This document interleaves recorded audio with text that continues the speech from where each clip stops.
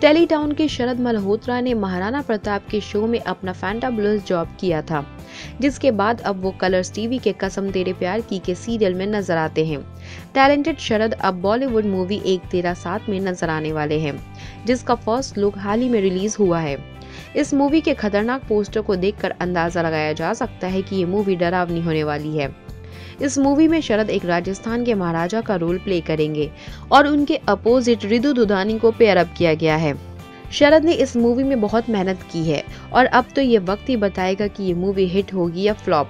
एक तेरह सात फ़िल्म चौदह अक्टूबर को रिलीज़ होने वाली है। टेलीविज़न के मोर अपडेट्स के लिए देखते रहे हमारा चैनल।